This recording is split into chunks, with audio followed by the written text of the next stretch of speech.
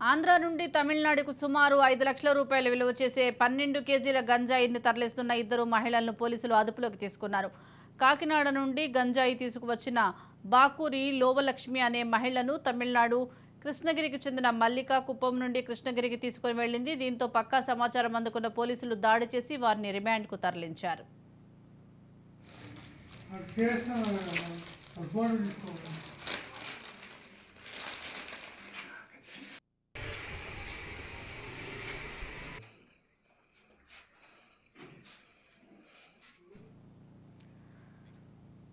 of water recording.